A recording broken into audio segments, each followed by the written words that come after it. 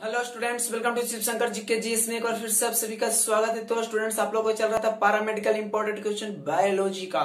आज बायोलॉजी का दूसरा वीडियो दूसरा टॉपिक यानी इंपॉर्टेंट क्वेश्चन का वन लाइनर क्वेश्चन एक लाइन में आंसर है एक लाइन में क्वेश्चन वीडियो पूरा देखिएगा।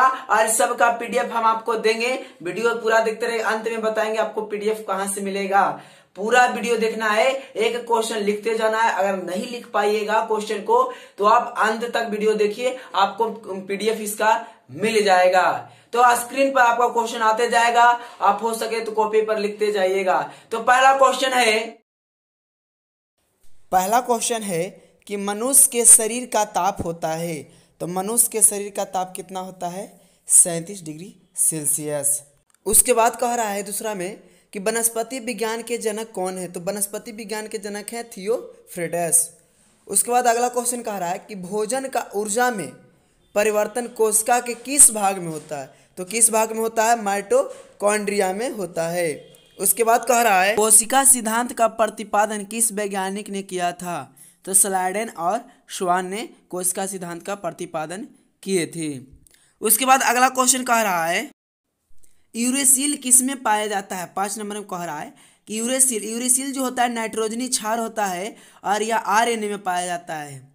उसके बाद छठा कह रहा है कि इलेक्ट्रॉन माइक्रोस्कोप में प्रकाश का स्रोत क्या है? तो क्या है इलेक्ट्रॉन माइक्रोस्कोप में प्रकाश का स्रोत? तो इलेक्ट्रॉन किरण। उसके बाद कह रहा है सतवा में, पेप्टाइड बंध किसके बीच में उपस्थित होता है? तो पेप्टाइड बंध जो होता है, वो आपका अमीनो अम्ल के बीच में उपस्थित होता है। उसके बाद आठ नंबर में कह रहा है कि प्रोटीन का संश्लेषण कहाँ पर होता है? तो राइबोसोम में, क्योंकि राइबोसोम की प्रोटीन का फैक्ट्री कहते हैं। नौ नंबर क्वेश्चन में कह रहा है कि कौन सा उत्तक द्वितीय वृद्धि के लिए जिम्मेदार होता है? तो कैम्बियम।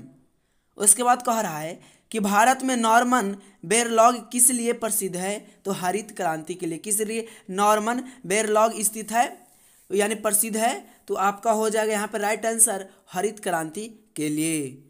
उसके बाद अगला क्वेश्चन कह रहा है, कौन सा उत्तक पादपों में जल के परिवहन का कार्य करता है?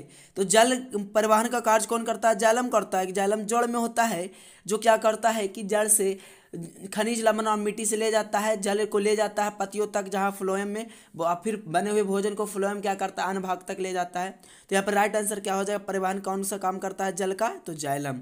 उसके बाद अगला क्वेश्चन कह रहा है, कपास के रेसे पौधे के किस भाग में पाया जाते कपास का जो रेशा है पौधा के किस भाग में भा, पाया जाता है? तो वह आपका बीजों पर अधिचर्मी रोम क्या बीजों पर अधिचर्मी रोग उसके बाद है रोम रोम अधिचर्मी रोम उसको बोलते हैं। उसके बाद है श्वसन मूल या नए मेटोफर किस पौधे में पाई जाती है? श्वसन मूल या नए मेटोफर किस पौधे में पाई जाती है? तो जूसिया। उसके बाद अगला कह रहा है कि चंदन को समानता क्या माना जाता है? तो चंदन को माना जाता है आंशिक मूल परजीवी। क्या माना जाता है? आंशिक मूल परजीवी। आगे कह रहा है कि गन्ना और गेहूँ में किसके द्वारा परागन होता है? तो गन्ना और गेहूँ में किसके द्वारा परागन होता है? हवा द्वारा। बाष्पोत्सर्जन मापी यंत्र कौन सा है? तो बाष्पोत्सर्जन मापने के लिए जो यंत्र है उसका नाम है पोटोमीटर। उसके बाद अगला क्वेश्चन कह रहा है आपका कि सबसे बड़ी आँखें, सबसे बड़ी आँखें किस स्तनधारी प्राणी की होती है? तो हिरन। उसके बाद कह रहा है कि कार्बन डाइऑक्साइड सीओ टू के उत्सर्जन में सर्वाधिक योगदान करने वाला देश कौन सा है? तो संयुक्त राज्य अमेरिका। इस सबसे ज़्यादा सीओ टू उत्सर्जन करता है। संयुक्त राज्य अमेरिका। उसके बाद कह रहा है कि बॉटनी शब्द की उत्पत्ति किस भाषा के शब्द से हुई है? तो बॉटनी शब्द की जो उत्पत्ति है, वो ग्रीक भाषा के शब्द से हुई है, यानी कारा किस भाषा के शब्द से हुई तो ग्रीक। उसके बाद क्वेश्चन है कि पौधे के आंतरिक संरचना का अध्ययन कहलाता है? पौधों की आंतरिक संरचना का अध्ययन कहलाता है। क्या कहलाता है? तो आंतरिक संरचना का अध्ययन शारीरिक तो स्टूडेंट्स आपको पूरा क्वेश्चन समझ में आ गया होगा। वन लाइनर क्या होता है? और सब याद करना है पारा मेडिकल 2021 के लिए बहुत ही इंपॉर्टेंट है। और इसका पीडीएफ का लिंक हम डिस्क्रिप्शन में दे दिए हैं। वहाँ से डाउनलोड कर लीजिए। अगर किसी भी बच्चे को प्रॉब्लम होती है पीडीएफ डाउनलोड करने में तो हमारा व्हाट्सएप नंबर आपको स्क्रीन पर दिख रहा है। उस व्हाट्सएप नंबर पर मैसेज करके पीडीएफ ले सकते हैं। मिलते हैं नेक्स्ट वीडियो में। तब तक हमारे चैनल पर बने रहिएगा।